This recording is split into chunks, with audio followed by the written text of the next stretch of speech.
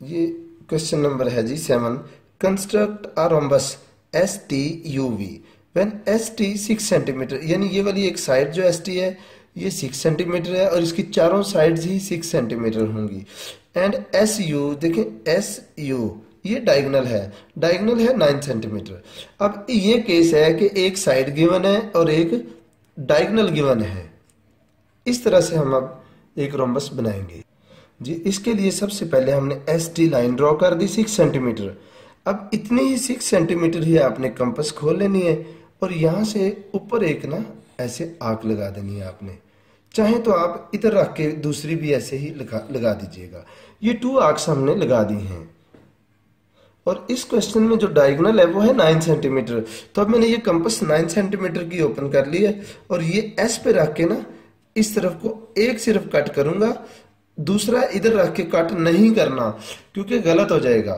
क्योंकि एक, क्योंकि रोम्बस का ना दोनों डायगोनल एक जितने नहीं होते। एक अगर नाइन सेंटीमीटर है तो दूसरे की कुछ और मेज़रमेंट होगी। इसलिए सिर्फ़ एक डायगोनल ही आपने ड्रॉ करना था। वो ड्रॉ किया तो हमें ये एक पॉइंट मिल गया।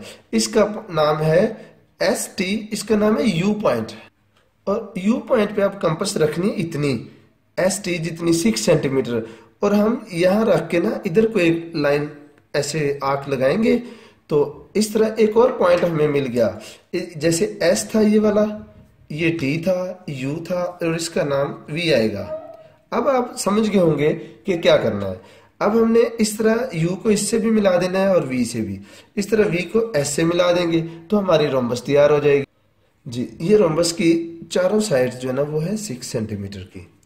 और एक डायगनल ये वाला जो है ना, ये है नाइन सेंटीमीटर और ये मैंने लाइन ड्रॉ करके नाइन सेंटीमीटर लिख भी दिया। अगर आप मेज़रमेंट चेक करें तो ये आपको पता चल रहा है, देखें इधर नाइन सेंटीमीटर ही आ रही है। जबकि इसका सेकंड वाला डायगनल देखेंगे तो उसकी लेंथ एट सेंटीमीटर आ रही है।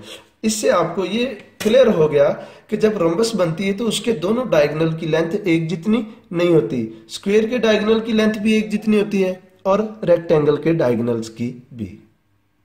और इस तरह के क्वेश्चन की कोई और कॉपी यानी ऐसा कोई क्वेश्चन रिव्यू एक्सरसाइज में नहीं है, ये एक ही क्वेश्चन है, इसकी प्रैक्टिस करें।